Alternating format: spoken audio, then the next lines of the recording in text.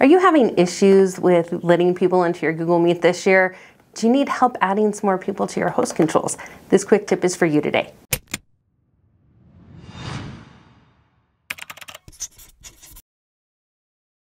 Google Meet has some updates now for you when creating a Google Meet in your calendar. Let's go over the settings to learn how to add co-hosts and how to change settings for your waiting room.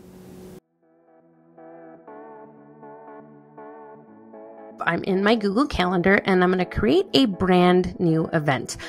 I'm going to title my event add guests who are going to be the co-host to that event. Here I'm going to now add that Google Meet video conference. Once I have that meet code, I can go over here to this gear icon, and that's going to open up a brand new window of settings. I can turn on or off host controls here in meeting moderation, and then I can scroll down, and this is where you can add settings for how your participants join a meet. If you have all participants needing to ask permission, you are going to have it restricted and be let in by the host. If you want it to be open, then you're going to turn off the host must join before anyone else. And then now anyone can join that meet without having to ask to join. Now, to add more specific co host to a meet, go over to guests and add the co host here. And I'll be able to click on them and they will show up as co host for this event. Save it in settings, and now you can save the calendar invite and they will be co hosts to that particular calendar invitation. There are a couple more things to look over here in the guest settings. One of them is the call artifacts are shared with the host and co hosts. This has to be set up through your Google Calendar when you make the meet invite.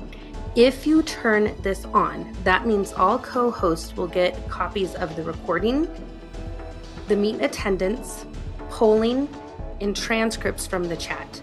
If you turn this off, co hosts will not receive those artifacts after the meet. If you assign a co-host during a Google Meet, they will not be getting the meet attendance, recordings, polling, any of that kind of stuff. This is new in Google Meet.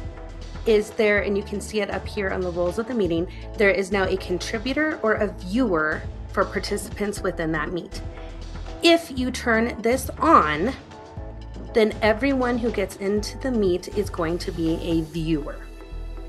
Viewers aren't allowed to add anything in the chat, raise their hand, share their screen, turn on their microphone, or turn on their camera. If you have this on where everyone is a viewer, you can select specific people to be contributors.